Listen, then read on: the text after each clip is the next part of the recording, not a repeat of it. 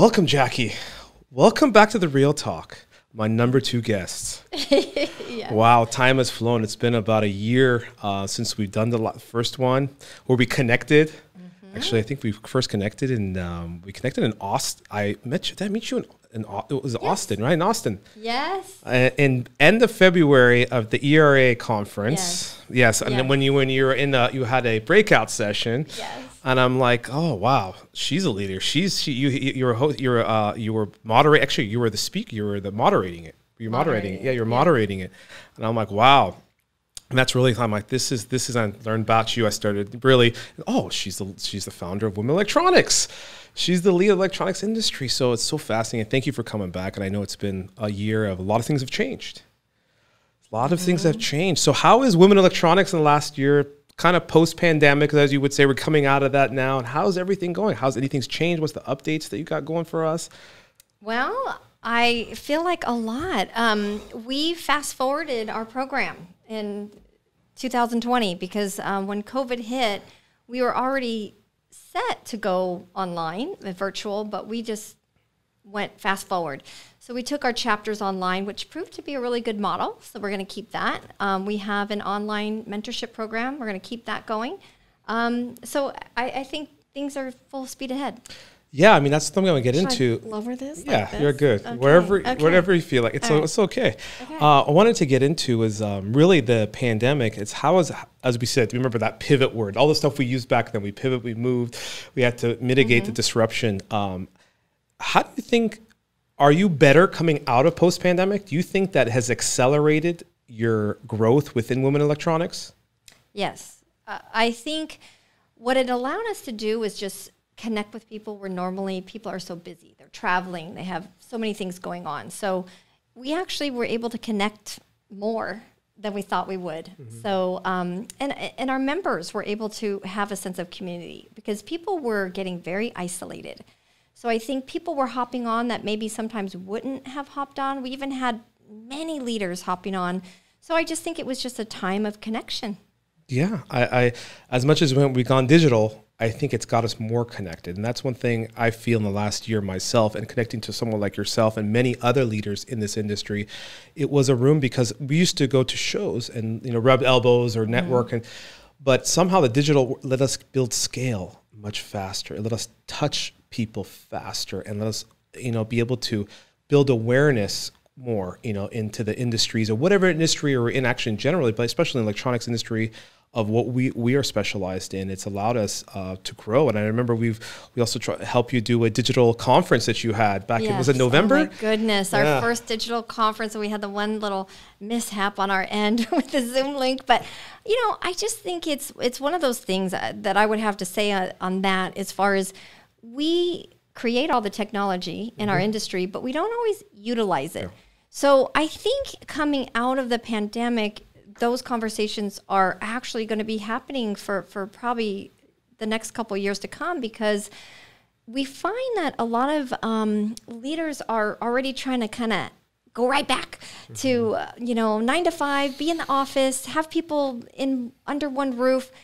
I don't know if that's as effective as maybe some people think. Maybe it is, maybe it isn't. But I wonder: Are people um, doing KPIs? Are they really researching to see what, did productivity go up during COVID? If so, how do you measure that? And and is it going to be as effective with everybody back in the office? So it's such a knee jerk reaction to just want to go back. Kind of the rubber band effect. Like to be, we pu- pulled out, we expanded out. Okay, we expanded, evolved, and we're pulling out, and all of a sudden, when kind of the world opens up and goes back to normal, it just comes back, and it's. But at the end of the day, that rubber band effect can really work because it we've evolved. I think the last year, year and a half has completely accelerated technology, the way we live, the way we connect, the way we scale, the way all companies can reach out, touch their clients or their customers or whoever they're trying to, um, whoever their prospect is, it's completely changed. And you hit a point there of the technology with measuring KPIs. It's like we are all digital working from home, but now we have systems and it's really accelerated the use of, I would say, contact resource management systems, CRM systems, and data systems to collect data. And I yeah. think one thing is a year, a lot of companies that are very data forward, as you say, the big tech companies, but the smaller companies, we weren't so data forward. It was more of thought or mm-hmm. I feel or gut or I have this market. But now it's like, oh, we could collect this data. This data is very powerful. So, what have you been hearing about that type of things with infrastructure of technology and software that's being integrated? Well, it's an exciting time. Um, we historically in our industry have separated hardware and software, mm-hmm. right? So we create the technology and electronic component industry, but we don't really collaborate with the software side. Mm-hmm. Now you're seeing a real need for the two to come together. And you'll see in our sponsorship family um, of companies, we have uh, OrbWeaver now, yeah. which is um, on that software side. And we're really excited about it because there really is a need to be looking at the software side and to, to really collaborate together and companies to start thinking of all that data you know how can you utilize the data how do you measure it so a lot of companies are just getting started on that mm-hmm. so it's it's a little overwhelming sometimes but at least we're on that path at least we're starting to to go in that direction. I'll just have to mm-hmm. say too, though, as far as we were talking about working remote and going back, you know, where this affects women, maybe in particular, and and um, is that a lot of women found that because they're the primary caregivers at home mm-hmm. too, as well mm-hmm. as working, they actually enjoyed working remote. Mm-hmm. It was hard with the homeschooling and things like that. But if, if a lot of companies can work out a hybrid model, mm-hmm. maybe they're in a couple days a week, maybe they're home a couple days a week, a few days a week, and you know, it, it just can really have more of an ease of life for a lot of people, the commute time from what mm-hmm. I'm hearing. So there's, you know, just to regroup on that real quick, um, to say that I, I just really hope in order to have a diverse workplace, that the leaders will be more um, listening to what the needs of the talent is. I, I cannot agree more uh, because of the data that we can collect now and check out productivity, which working from home, we can see that working from home does. And I think it's also spread to certain positions, mm-hmm. certain roles. Not all roles are very efficient, especially the new new recruit, new talent bringing on. You need, especially for very sales, energy focus. It's kind of, but unless you're a management type or an IT or a finance, there are some areas that could be more flexibility or have a more hybrid. You know, you come in for big meetings and this, but of course, as you said, with the women's side of being the leader of the household and also bringing in working full time, get that flexibility to be able to. Um, I mean, in my opinion, you you have more you work more hours. You would put more output, right? That or, uh, or input into the company, your output is, is greater because at that point, it's like I have flexibility. I can work from home. Say the mornings, take my kids to school, come back. I have to take care of some things or take them to a doctor's appointment, but I can come back. I can still work at night, or I can catch up on my work at night. But when we're so used to that, I would think eight to five mentality or eight to six, whatever that that that mentality that's always status quo eight to five, which uh, in this day and age, it's not really eight to five anymore. We are yeah. connected more than ever. Things are moving so fast that it is kind of a twenty four seven. You're always connected somehow, especially if you're sales focused because your customer. Mm-hmm experience comes first these days that that touch point. So what ha- have you seen from all the, the women in, in your uh, the, um, your members and women members and people coming or the new generation coming on board with women electronics how are they feeling? Do they as you said some of them feel like they like the hybrid model or do you think it's um, or some of them do some actually feel better in the office? Do some women actually well, I, I think it just depends. Okay. What you're saying is is on the position. So okay. it all has to make sense, mm-hmm. right? Mm-hmm. Everybody, everything has to make business mm-hmm. sense. Mm-hmm. So I think if you're a working professional in today's environment, you really have the flexibility to go where it makes sense for you. Mm-hmm. I would say don't beat your head against the wall at a company who doesn't match the values or match what you're trying to accomplish in your life because it's not just professional, it's personal too. So there's plenty of opportunities and options at this stage to align with a company that can offer what you're looking for. Mm-hmm. So some people actually do prefer to be in the office a couple of days I know from my prior experience, many people have said the same thing. I tended to get less done in the office um, because there's a lot of chatter and there's just a lot of distractions. But when you're managing a team, you really do need to pull them together sometimes. So, I, for me personally, I think the hybrid model in those positions that makes sense mm-hmm. is very effective. Yeah, I, I kind of agree. And at the end of the day, people say, "Oh, I just want to work from home," and even I have uh, people we're, we're interviewing come in and say, "Oh, kids, can we just work remotely?" But I'm like, well, in the beginning, two things: are you experienced or are you entry level? Um, and also, usually the experienced people come in, and it also takes time. There's a time to learn the processes come into play. And also, I um, I also some of my salespeople, I'm like, it's earned. If you reach your goals, you're very proficient. We can measure those KPIs, and you meet your goals. Let's do it. Let's let's try it. But uh, because now more as more um, employees and more teams are coming back to the office, more more offices are opening up. Um, it is a very it's a kind of a slippery slope a little bit when you when you want to hire talent, and that's the question. The first question they ask is it you know. So these are the little challenges that I've been run into personally myself. Um, and of course, probably you've been dealing with or you've been hearing about too. Is the first question some of these new recruits or new talent come for the employment side? Well, and I also think that a lot of the youth actually want to go in the office mm-hmm. and really you can't substitute that mentorship mm-hmm. you know the water cooler talk and things yeah. like that they really need that initially and really it's when when fresh talent comes into our industry they really need a good solid two years to, mm-hmm. to really get their bearings in the mm-hmm. industry understand how the channel works and there's so much to our industry so to me it's a very um, it's just a good plan to say, hey, you come in, you learn the industry. Like you said, we look at the KPIs. Once you're at a place where your performance level is just as good, if not better, in a remote situation, then we'll consider that. But I think that it's a good incentive. Yeah, I definitely agree. Definitely. So, how through this last year, uh, Women Electronics has transformed? You guys are having a lot more digital meetings, expanding out. I think you've also expanded to Europe as well. Mm-hmm. Um, and how is that the touch point? Are also, I mean, everybody think women in electronics, but is there also men involved? There's also I know you men on your board, but are, are there men members now? So we do have some male members. Okay. Um, we would encourage men to mm-hmm. join because we want their input at the table. So mm-hmm. Women in Electronics is not just uh, an organization talking about women's issues in a little huddle in a corner. We actually are really encouraging thought leadership. Mm-hmm. We want as many diverse thoughts at the table. So that includes men coming to the table because we're primarily women in our yeah. base. So we really want to include those differences of thought, but also to share that women electronics, and I think I've said this before to you, that we're all about unity. So mm-hmm. we don't look to overturn or um, replace the men. We mm-hmm. look to join arms and expand with them. So really, that is our approach at Women Electronics: is that we appreciate the males um, the leaders that are in place now, we, we need them. I mean, the, there's so much experience a lot of these leaders bring to the table. But when you consider diverse talent, you actually are looking to expand. Mm-hmm. So we're not looking to replace, we're looking to grow and expand. That diversity. But throughout this time, has any of the, like as I say, mission evolved through the pandemic? Has anything changed? How, has your mission at Women Electronics evolved a little bit through the last year and a half? Yeah, so we did get our official 501c3 approval. Mm-hmm.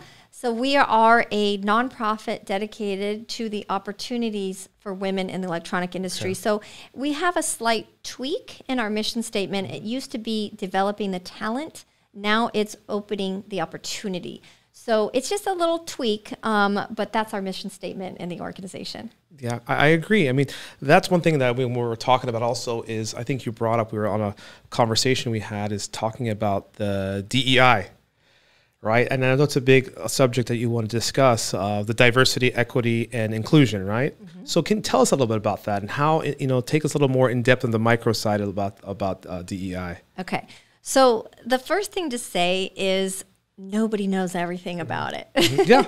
Even somebody like me who's researching it, mm-hmm. our executive team does. Um, we have a lot of people on this all the time, and we're very we're very dorky. We yeah. love the data, so I spend a lot of time researching, and I just like to dig into the data. And same with um, our executive team. So, but given that not everybody knows everything. Yep. So um, we strategize quarterly with our Women Electronics Council, which is made up of leaders in the industry, um, male and female. Mm-hmm. And at one of our last uh, meetings, actually, Michael Knight had suggested putting together some best practices for DNI, DEI.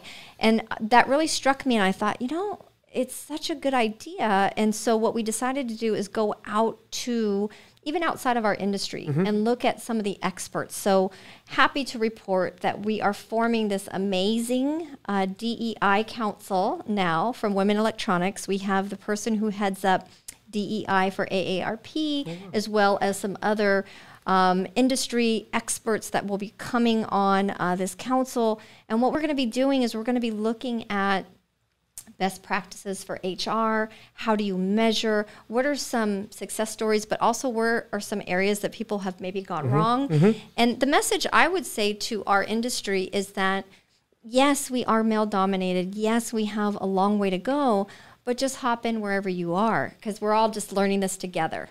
And we're and we're here at Women Electronics to pull as much of the information together as we can mm-hmm. so that the companies can then spare themselves some heartache, some cost, yeah. and, and, and, things like that. But DEI, so diversity, equity, inclusion, there's a difference between equality and equity. Mm-hmm. And this is an important uh, topic because I think if people would understand um, maybe the empathy going into these conversations is a little mm-hmm. different.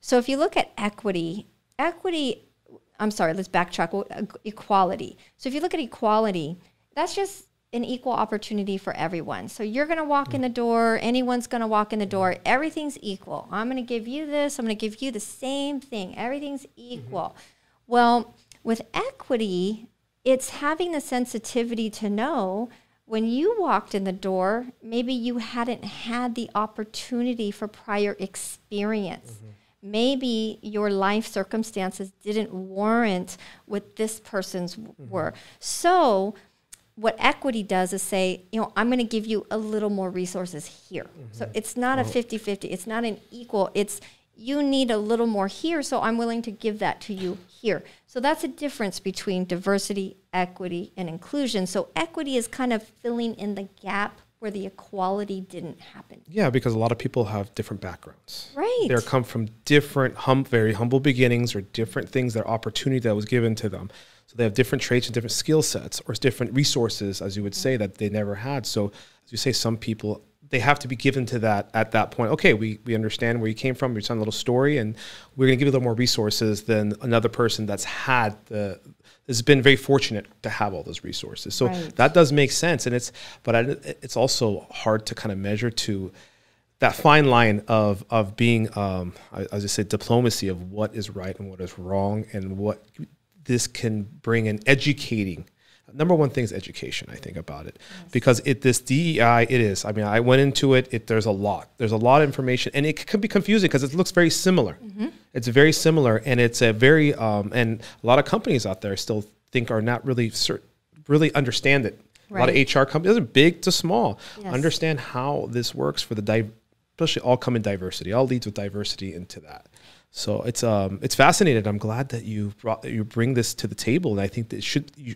and bringing the awareness to the industry, leading it because it's the first time I heard it into our electronics industry. Well, and I think though the difference is diversity, equity, and inclusion is a mindset. Mm-hmm. Okay, it's so it's more than an initiative; it's a mindset, mm-hmm. and, and and this is where we get into leadership and all mm-hmm. kinds of things. Because you know, somebody had mentioned I was on a podcast recently, and somebody mentioned, um, yeah, when you hire a woman, you need to um, the company needs to do their part to market why they hired her and how she has all these qualifications. And I was yeah. thinking, well you know we'll have reached where we want to go when we don't have to do that anymore, right? Yeah. When we don't have to overly sell the fact that we hired a woman.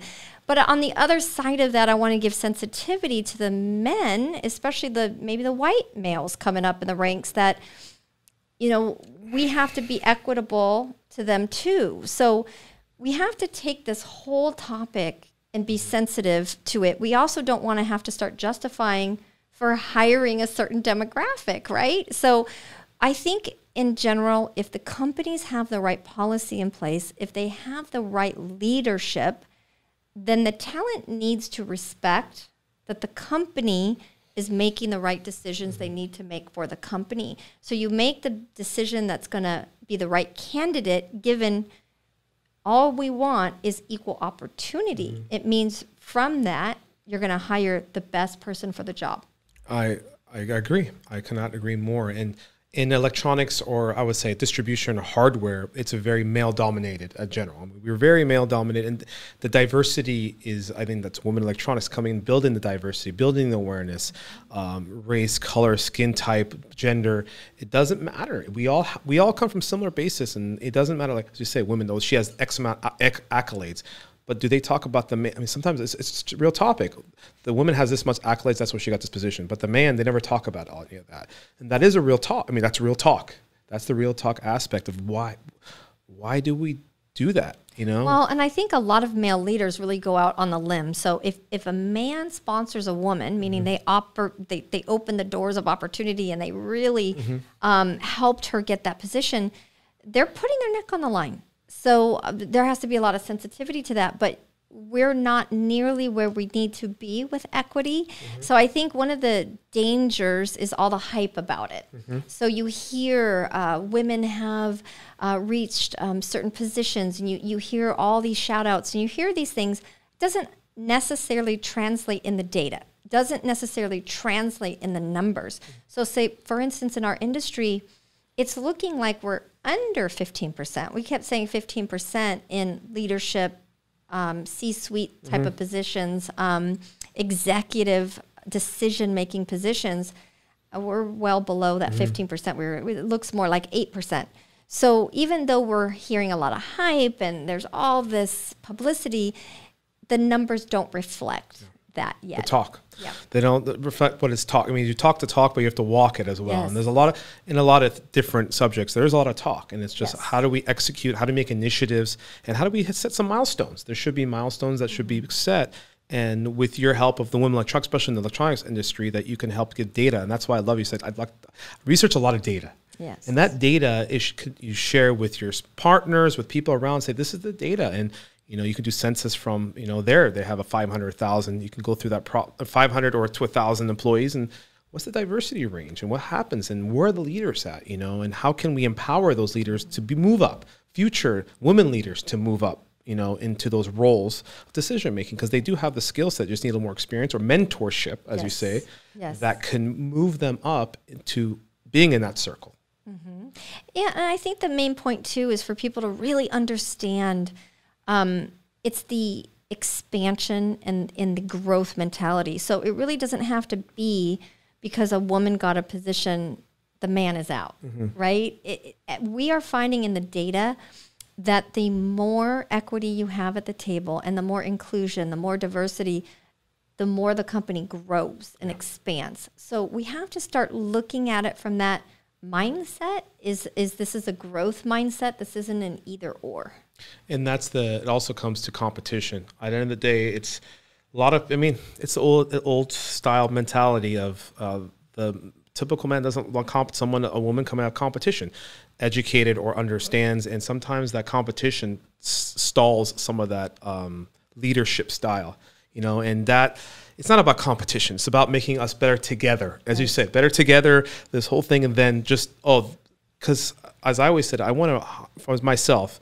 I don't know everything. I want to hire smarter people that can fill in my weaknesses, right? Yes. Doesn't matter if it's a man, woman, skin color, type, that this person has a skill set that can quantify. I have, might have a vision that can quantify. And that's how modern day leading should be is we think about that. It shouldn't amount, matter what gender it is. It shouldn't, but they have a particular skill set that I can empower, they can lead, and they can grow um, to be successful. Anything they're in, they're you know any position they're in. Yeah, and we we just say always assume good intent. Mm-hmm. So when it comes to DEI, you always assume there's good intent. Every leader, mm-hmm. even in our industry, even if it's not reflective in their organizations, every everyone has good intent. They don't always know how to go about it. Mm-hmm. And what got us here is definitely not going to get us there. So leaders have been used to a certain way mm-hmm. of leading. So what you're describing is definitely the more modern and it requires a lot of leadership development. So I would say that, you know, here I am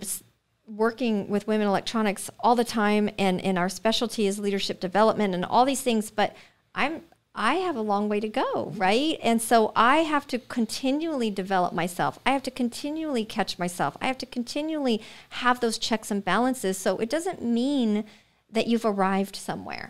Yeah. even the more you learn you realize wow, I have a lot more to learn. So I think if, if leaders would have that mentality of curiosity and creativity and growth, um, and, and looking at what needs to be done moving forward versus what got me here to this point, mm-hmm. right? No, I agree. And that comes to the modern, as you say, modern day leadership of this changing. The world is changing between what type of leader uh, modern we have through the vertical style, through the big business vertical, to more horizontal together leadership that and it's also to another thing as a modern day leader is to continuously uh, push but continuously promote intellectual curiosity right? Intellectual curiosity. I feel even some of the new generation, even because everything there's, there's as a team, there's too much information out there. There's a lot of information everywhere.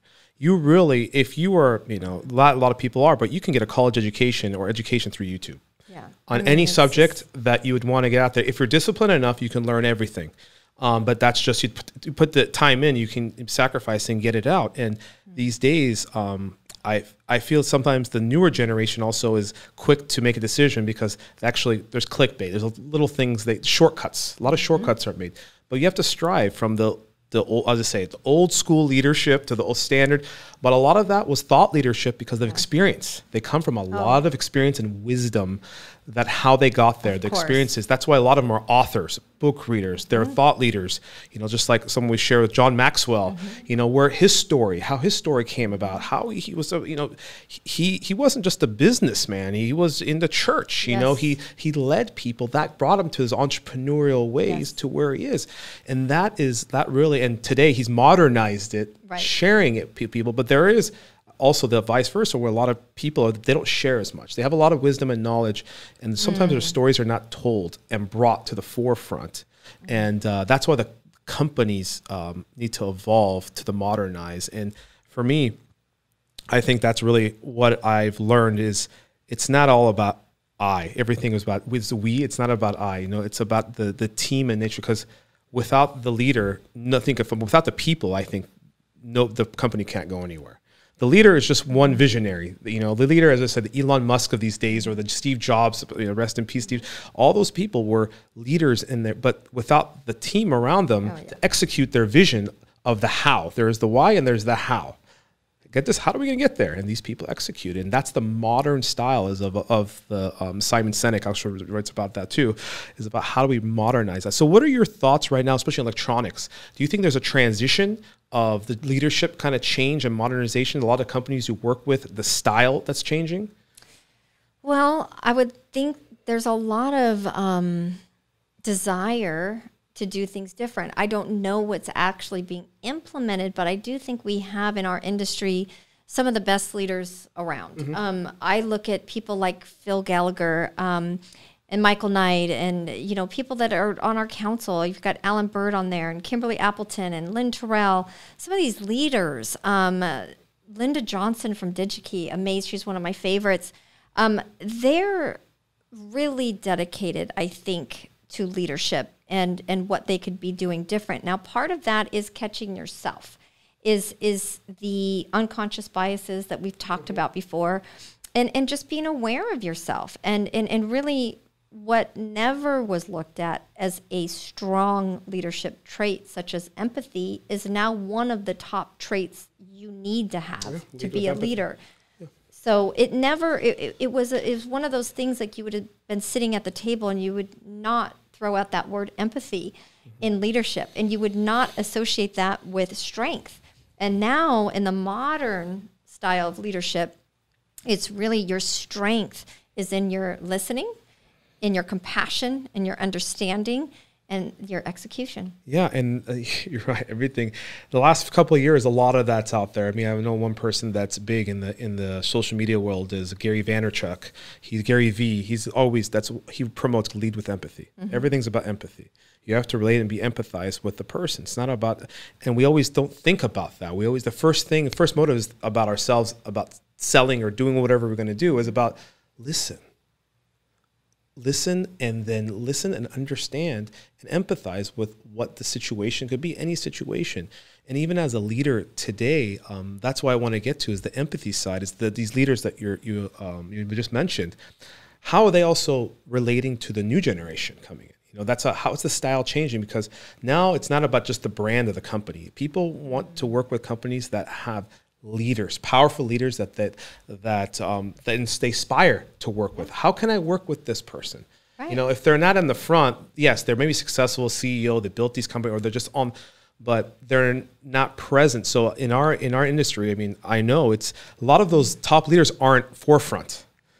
You know, they and I think the last couple years they're coming more and more, yes. and it's it's because they want you have to bring talent, and the new generation they want someone up there that is, empathizes, understands, and relates to the to the style. Yeah, and likability. Um, yeah. So if I think of our council members, which are some of the top leaders in the industry, um, I would say, from just my experience with mm-hmm. them, is that they're listening.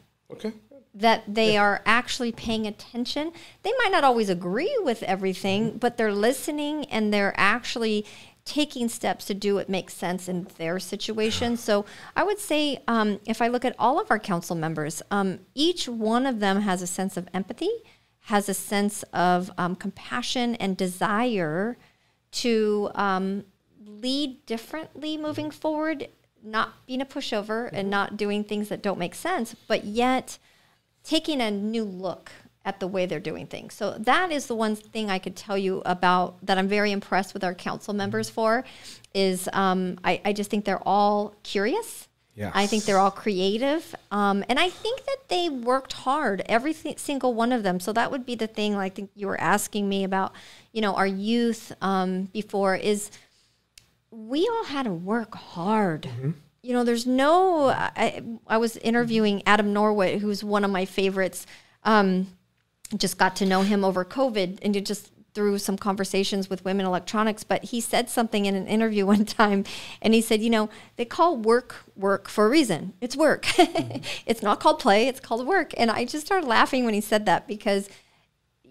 I would love for the the upcoming generation to understand yes there's that healthy balance with you want to have a well-rounded life. You don't want to be working so hard that you sacrifice your home life, right?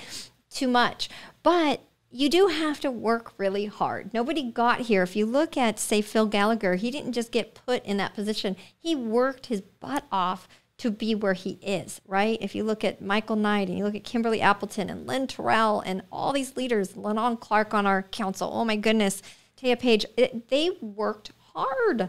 Linda Johnson, she'll be in there on the weekends packing products at DigiKey. Like you're never above, you know, anybody when you're in that leadership position. And that's you, you bring up a good point because even as leaders, you have to be able to because it depends. You hear all the C level, a lot of people say they're disconnected. I mean, even public company, big public companies, in any industry, are they connected to the people? Are they connected to? Um, do they get their hands dirty?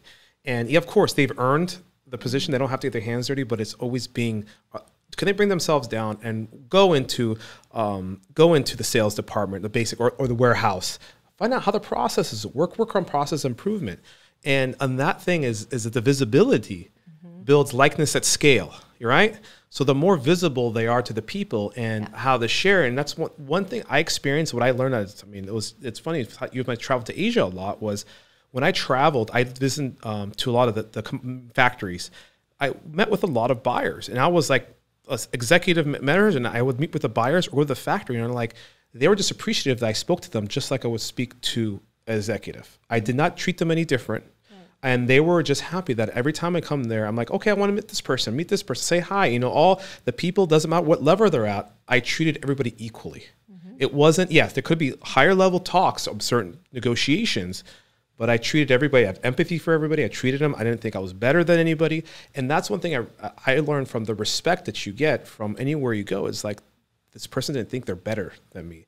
They just they earned a lot. They worked hard, but we're we're all humans. Yes, we're all, and I think that's one thing COVID taught us yeah. too, is in, in those people that you took for granted were essential mm-hmm. right? So, you know, think of me getting my hair done and nails done and things like that. I mean, that's essential to a lot of us. Yeah. But things you took for granted, the person checking out, you know, mm-hmm. the clerk at the grocery store. Right. I every time I go to the grocery store, even now, I go, thank you, thank you, thank you. I'm so happy if I'm able to be blessed enough to sit yep. down and have a meal out, which is so nice to yep. be able to do that again. I always thank the servers. Thank you for being here. Thank you.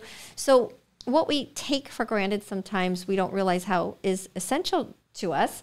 And I also think that the other big differentiator going into the future, mm-hmm. I think for a lot of companies, um, we had a leadership um, coach, mentor, advisor, entrepreneur, mm-hmm. Jeff Henderson, on our women electronics uh, training, professional training.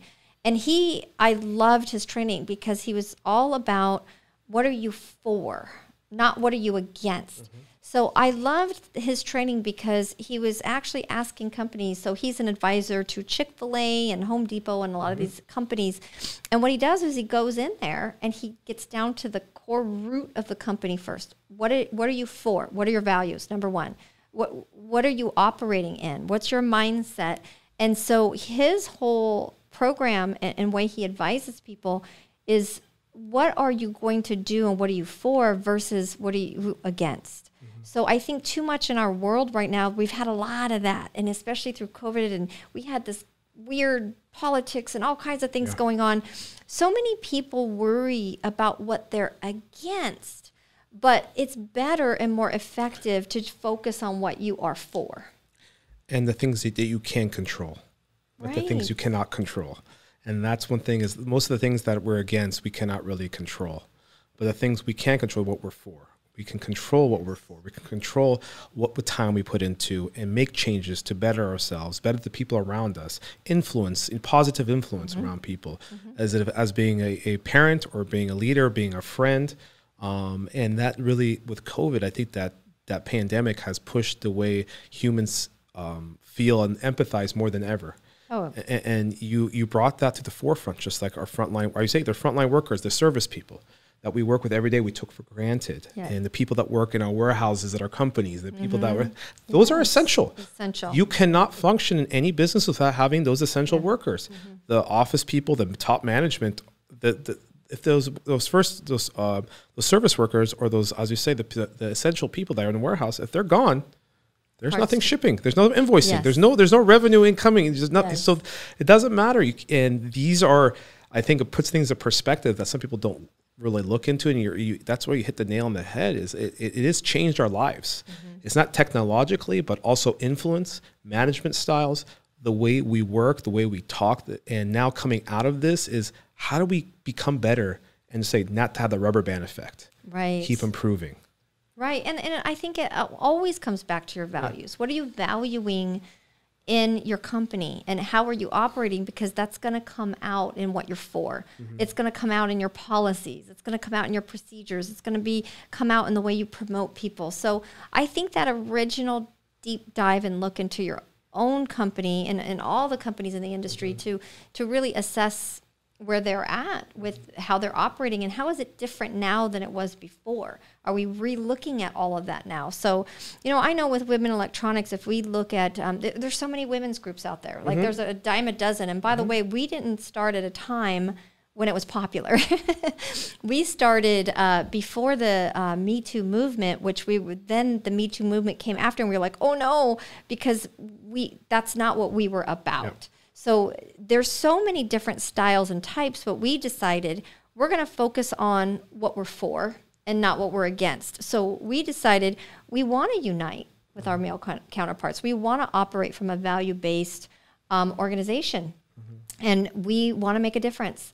And so it's been really endearing and just to have these industry companies come alongside of alongside of us and to have the advisory board we have and the council we have and the founding board members and i will give a little shout out to karen prince who passed away recently one um, of our founding board members that was oh. just really tragic for us and, and really heartbreaking um, so i'll just give a little shout out to her too but it all comes back to legacy so mm-hmm. when karen passed it made me realize like this was part of her legacy you know we mm-hmm. could do so many things in our lives but when it all is said and done, what did you do to make an impact on people? It, you know, when when your life is over, people will forget the profits, but they won't forget the people you impacted. It's very powerful. And that's one of the values of why I started the Real Talk is to tell the story of legacy and to learn and to meet people like yourself to understand and everybody has a story and as the younger generation comes into industry and newer people is to build that influence of like there's a story and how powerful they are because these are leaders or decision makers that change pathways in certain things that we do because who knows 20 30 years from now electronics would be a different path but yeah. it was started and that legacy is there and those stories aren't told enough Right. And those people aren't appreciated enough, especially in our electronics industry, as you know. A lot of people's, a lot of appreciation should be a lot of these founding members, mm-hmm. the last 50, 60 years of this, you know, all these companies that, not, uh, especially the, um, the passing of um, TTI, uh, Paul, Andrews. Paul Andrews. Yeah. Um, when he passed away, it, that's a big legacy he left behind. Legacy. He wasn't very up in the forefront. He wasn't always in the public eye in the industry, but that's a founding. A lot of people knew and didn't know who he was. Yes. And TTI was one of the groundbreaking leaders of distribution in the industry. So these are the stories that I think in the next, as you know, for the next five to 10 years, we're going to have a lot of succession. A lot of succession is going to happen. And yes. are, is that awareness being built of the, those leaders that will, will be, and the new ones coming in to understand? Well, and the, I have to say too that I'm I just don't believe all of our leaders can be replaced. If yeah. I look at certain leaders, like you know, you mentioned Paul Andrews, I just mentioned our council yeah. members, and you got people like Bruce Keller. There's, I mean, countless leaders, mm-hmm. men and women in our industry that have been here for so many years that started in the industry that you know factory workers and all different stuff, and then working their way up and yeah. becoming leaders. Everybody's got their own story, but I think to replace that experience. Mm-hmm of seeing the industry change over the years. And you mentioned wisdom. So it takes a lot of years of hard work, of mistakes, of mentorship to gain wisdom. So we have, uh, we're very fortunate, I think, at this stage of where we're at in our industry that we have the leaders we have in place who have that longevity, mm-hmm. have the wisdom, have the ability to kind of see from a very high level and because sometimes the new talent come in has such a fresh and excited view of things, but it's not always realistic to mm-hmm. implement some of the ideas. So it is important right now. So we have the Women Electronics Mentorship Program, okay. and we're really trying to connect our mature leaders with fresh talent coming mm-hmm. up, and even just um, middle management, like people who have been in a position for say a long time and they want to do something different. So we're really trying to connect because how do you replace that talent? You actually don't. Mm-hmm. You don't. And so we're encouraging our top leaders, please, please, please mentor because we find they get so busy, they're really not actually mentoring.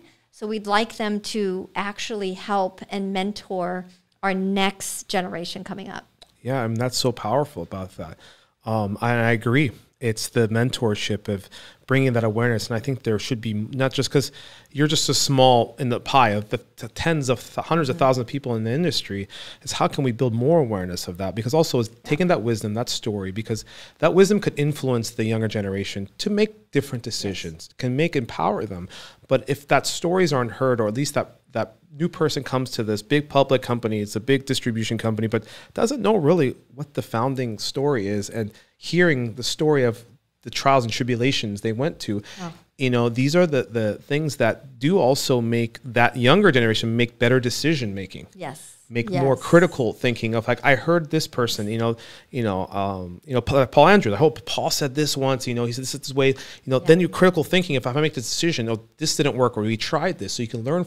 I say it's always learn from experience. Of course, when we're younger, we just always think we know it all, you know, and we realize that it's not. There is a lot of wisdom out there. Technology can change, but at the end of the day, it's the the business is business, and the the platform how we operate business is changing. But business itself, how it operates, is almost it's the same. It's mm-hmm. just we are literally technologically, and everything's moving much faster fast. than ever because decisions were made. Yes.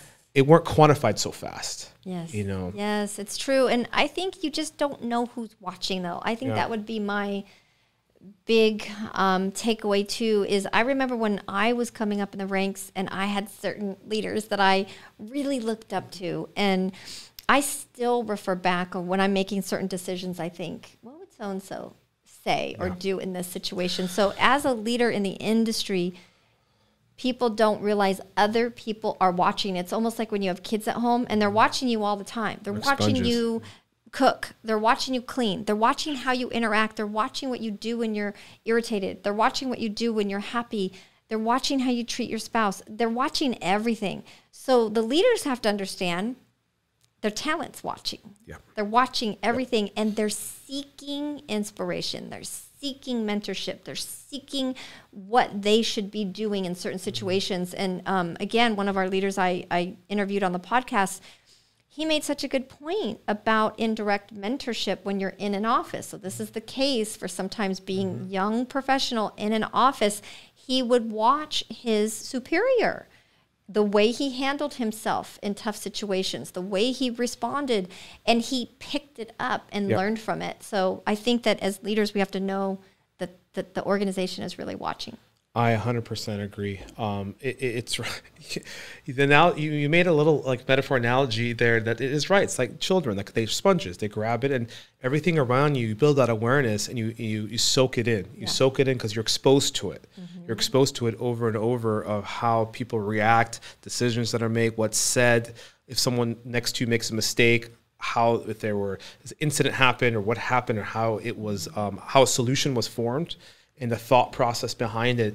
And that's why, from uh, uh actually thinking about with my uh, uh, with uh, our team at IBS too, it's like when the situation happens, we want to have a, a, resolution, but we want everybody involved. Okay, how did we get here? Mm-hmm. Before it was like, oh, you know, reprimand. Oh, did this? This is wrong. Yeah. No, how do we get here? How do we make sure it doesn't happen again? Right. You know, of course, you can have instant reports this, but there's a lot of people involved. There's a lot of chain, and you always cannot, as I said, it's you're sometimes you say you're you're uh, you're guilty until proven innocent. sometimes it happens, right? it does, but it's yes. not. You know that could yes. happen because yes. you never know. The, there's two sides to every story. Yep. Doesn't matter through business, through friendships, through uh, uh, hearsay. Mm-hmm. There's a lot of that. You have to, as a leader, as a modern day leader, you have to step back and say, okay, let's let's talk this out, and that is powerful for the new generation. That's critical because I think the thing that the leaders have to understand, and, and probably a lot of people just haven't thought about until now, but it, will go back to the parent analogy. Yeah. When you react in a certain way, say it's a you don't you're not always on your best game. Say you make a mistake, which okay, everybody has a past to make a mistake sometimes, right?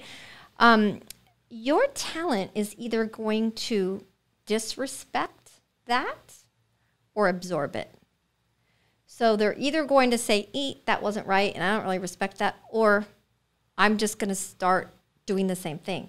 So to correct it, just like when you're a parent, you just apologize. Yeah. Yep. You just come to the table when you're wrong and say, I'm so sorry I handled that this way. I'm going to regroup. I'm going to, you know, you correct it and you gain so much more momentum, respect, the, the, the team. So I don't think that the pressure's on the leaders to be perfect and never make a mistake. And I think uh, Brene Brown said it perfectly she said that, you know, the people that are the most precious to her are not the people that never did anything wrong or didn't hurt her. It's the people who came and said sorry. Yeah. The people who came and corrected. It's humility. It. It's, it's having humility. the humility that that yes. you make mistakes and we're mm-hmm. nothing perfect. Yes. And that humility is very powerful. It doesn't matter if you're a leader or friend or whatever it is. You know, I did make a mistake. I did judge. I did get a little defensive and I overreacted. And I had the humility to say yes. And I take responsibility for it and yeah. let's work to improve ourselves. That case, if it, it is from a child, from a child seeing that from a parent or from the workplace or a leader having humility, saying, you know what? We made the wrong decision. That was right. And taking that humility, like, let's learn from this. Let's grow and you go this. back to even relationships and marriages. Oh, yeah. Think about it. How many times are we so stuck on being right um, and not having the humility just to go and say sorry. And once you do do that and you break that ice, uh, everything is just it just dissipates and everything's so much better.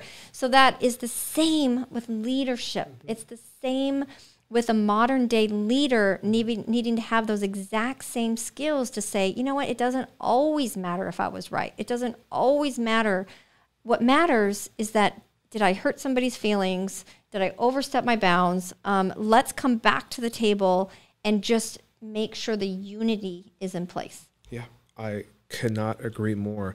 And that's what I will say with your the mission of women electronics and what they bring to the table is like empowering not just women but men to all lead with empathy, have more humility, go through the process, how to be better leaders and better people in general. Mm-hmm. How to be in this last year and a half is is rehuman rehumanize each other. Yes. Yes. you know, rehumanizing each other, coming together, and of course, thankfully, we had we have technology that we could see each other at least digitally through platforms mm-hmm. and have the nonverbal see, but you can't replace that in person, of course. But uh, but it's still there because, um, of course, text message, black and white text, yeah. can come across in every person differently, and that's why sometimes just get on the phone. Why go across?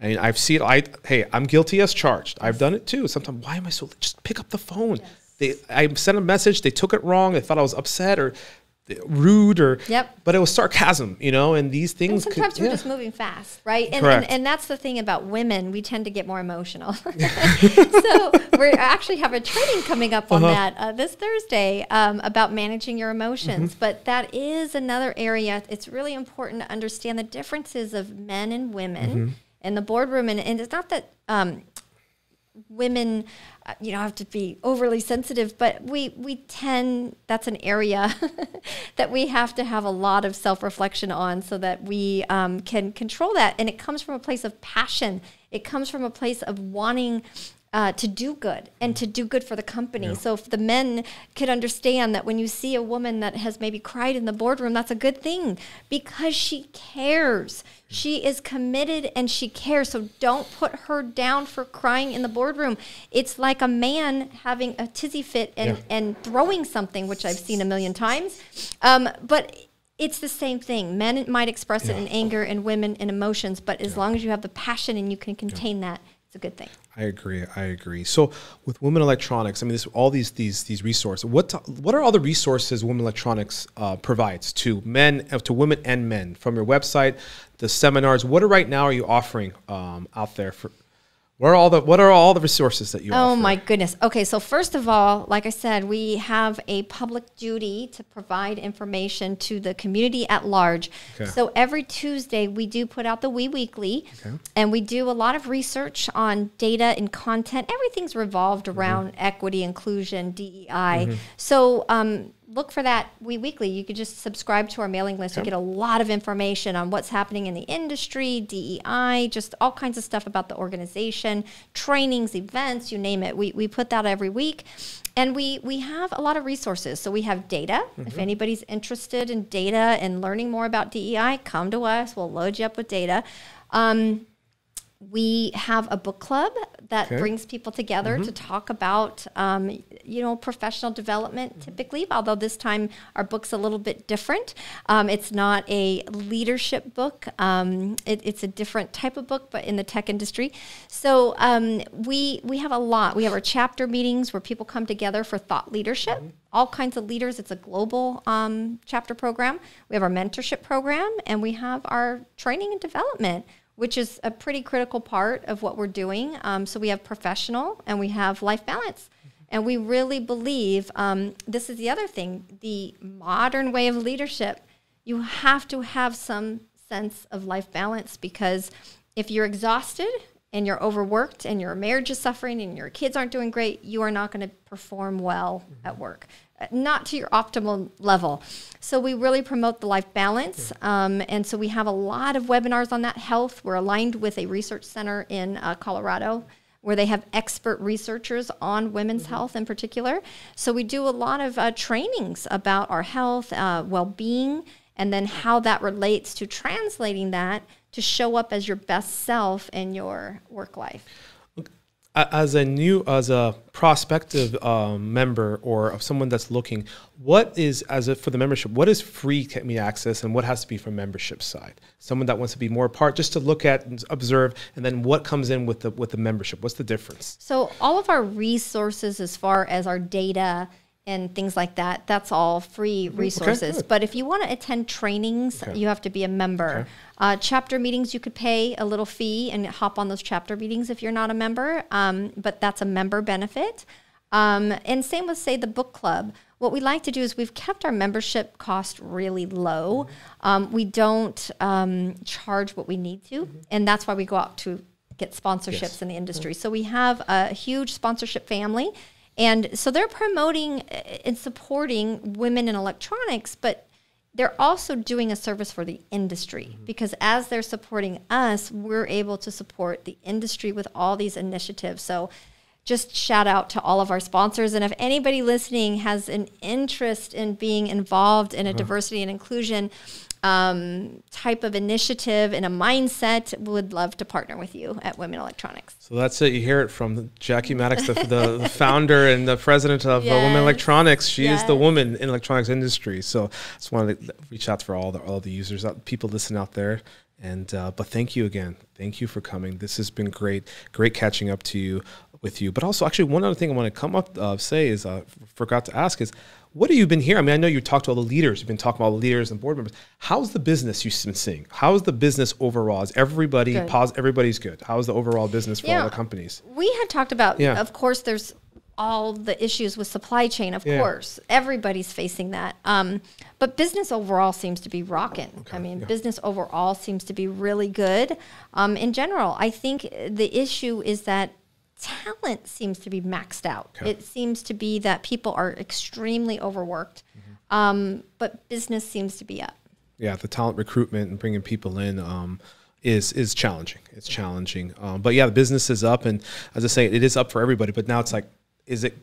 Is there going to be a down? Because the economy in general is up. Everybody is down. That's why I think everybody's like, it's Christmas. It's Christmas for everybody, and it's hard. It, you know, it's our industry. I've started when I was just still in college, mm-hmm. and I'll tell you, I started as a rep, and you just it's see the, the industry always going through the cycle. So it's that never-ending. Hey, when times are good, save for it, right? Yeah. Because there's going to be those downturns. We we just hit COVID, right? Yeah. So it's amazing to me that the industry didn't suffer during COVID. The industry actually rose. Now, while we were in it, especially at those beginning stages when everything was shut down, it was unknown. yeah, it was unknown. I mean, yeah if you look at the leadership in place, okay, I look at people like, say, Don Akery, uh, you know, him stepping in, and Mike Morton, and, you know, Michael Knight, Phil Gallagher, all these people in all these different organizations that rose to the occasion. And, and that's the one thing about leadership. When tragedy hits or crisis hits, you don't have time to develop yourself. It's game on and either you're there or you're not. And these leaders that were in place, and I look at all of our sponsor companies, they rose. I yep. look at Phil Gallagher, that guy rose to the occasion. There's so many. Lynn Torrel, oh my goodness, you could not get more of an expert on supply chain. She yeah. rose to the occasion. Um, Linda Johnson at DigiKey was talking to her. I mean, she was just right there. Kimberly Appleton, all, all these leaders, I'm so impressed because it shows that what you're doing on a daily basis, you know you're doing the right thing when you hit crisis and you lead through it well. Nothing's a better test than that. And unfortunately, none of us want to go through that test. But if you look at some of these companies and how they came out the other side, that's just good leadership. Yeah. I agree because a lot of those leaders I had networked with, I talked to, or had them on a podcast, and they were really it's it's powerful last year. Everybody and everybody rose. Everybody got digital. Everybody put their face out there. And I could say to TTI too, having those road shows they had, mm-hmm. digital road shows they had, they had hundreds of them. Yeah. with different customers, and it, it, there is some type of lead by example. Yep. A lot of people led by example, of course. Not so. I mean, it just different it differentiates everybody. Now, a lot those a lot of those companies who led by example are are ben, seeing the benefits now. As business goes, they're going to get more exposure, more visibility, more opportunity because they led and they were exposed. And they're yeah. the wise leaders, like yeah. you mentioned that before. So we need a lot of the young talent to come up and give us a fresh perspective. Mm-hmm. But nothing could replace when that hit COVID. Thank God we had the leaders in place we did because they had the endurance of being in the industry for so many years. They had the wisdom and they had the ability to make some really good decisions. So we just lucked out that we weren't already in our leadership turnover, right? Because yeah. in the next five or 10 years, we're going to have a lot of leaders kind of starting to retire. So, um, a good thing that we had our leaders in place still. Sound. We're sound. We're sound. We're sound. And uh, hopefully, we've evolved and we'll be even stronger uh, with all that information technology. And we can, any natural disaster, pandemic, not, you know, anything happens, we can be prepared for it. Yeah. And one last thing that I want to mention to you, too, because we hadn't talked about it, but yeah. we are actually leading a massive recruitment effort in the industry. So we're aligned right now with one college in particular who is bringing in a lot of diverse uh, students to their school and we're partnering with them on an industry level. And so we're in this partnership, and we're super excited because we're going to be bringing in interns, we're going to be bringing in new talent, and through Women in Electronics, we're going to handhold them for the first couple of years in the industry so that we Is retain that men and women? men and women. Men and women, oh, side, yeah, men and women holding hands together side by side. Is it uh, more industry tech related, or is it any, is any open position any position in the industry. So Okay. we've created like a buddy system with Okay. Women electronics, like a group mentorship type of uh, program. So these youth coming in, we looked at the data and we did all the research, and we found that we usually have them for about two years and they leave.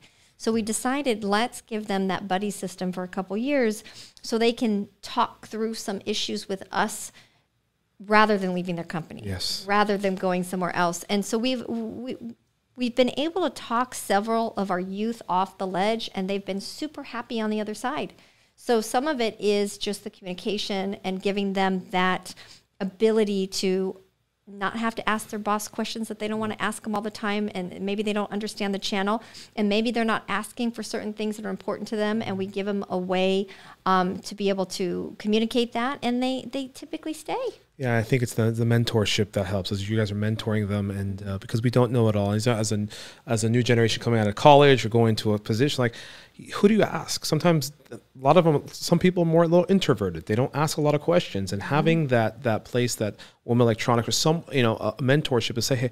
I just don't know. I felt very insecure. I don't know how to answer that question. And it's like, hey, these are the ways to go about it. This is, you know, there is not, as I said, when you're young, it's not a stupid question. Ask the questions.